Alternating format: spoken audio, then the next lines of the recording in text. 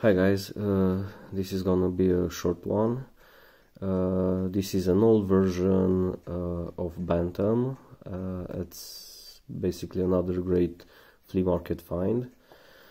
Um, this knife, it's probably from the 90s, late 80s, early 90s maybe. Um, it's uh, it has no scale tools and no keyring and also uh, there is no shield. I'm not sure uh, why is that. Uh, probably uh, the shield wore off um, because it doesn't have the scale tools and the keyring uh, this knife is probably part of the Victorinox standard line line of knives that has been discontinued for, for uh, some time now. And um, usually uh, the shield uh, on those knives uh, is just uh, stamped on the Cellidor and usually it wears off uh, in time. So this knife it's of course on the 84 millimeter frame. Uh, the main blade uh, it's decent used.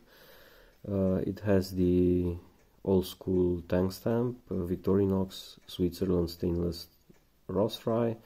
And on the other side you can see the logo with the cross.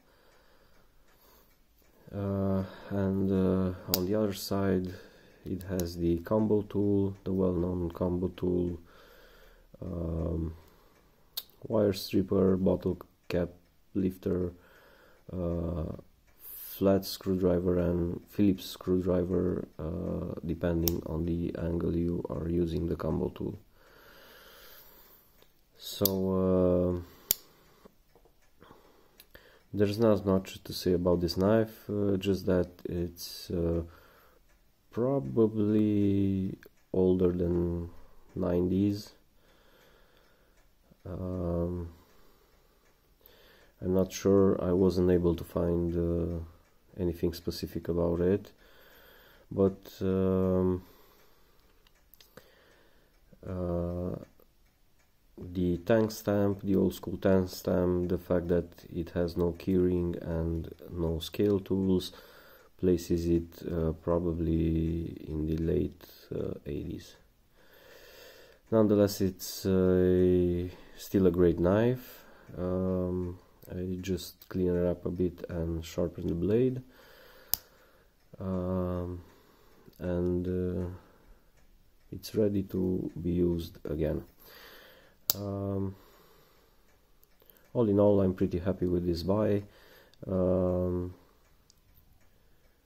it's a great find and uh, it will be a nice addition to my uh, vintage Victorinox collection. Thank you guys for watching. I hope you enjoyed this.